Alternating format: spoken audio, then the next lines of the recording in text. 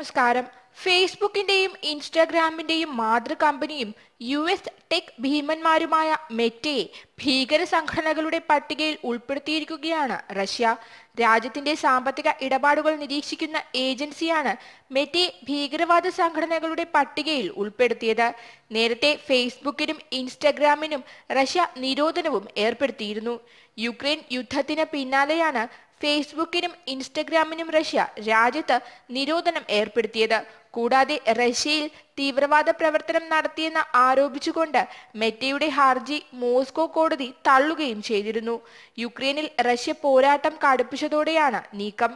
Russian മാധ്യമങ്ങൾക്കും വിവര സ്രോതസ്സുകൾക്കും എതിരെ Facebook സ്വീകരിച്ച നടപടികളെ തുടർന്നാണ് റഷ്യൻ കമ്മ്യൂണിക്കേഷൻസ് ഏജൻസിയായ റോസ്കോ മത്സർ ഫേസ്ബുക്കിന് നിരോധനം ഏർപ്പെടുത്തിയത് ഇതിന് മറുപടി എന്നോണം റഷ്യയിൽ മെറ്റ നടത്തിവന്ന പരസ്യ വിതരണം കമ്പനി നിർത്തിവച്ചിരുന്നു.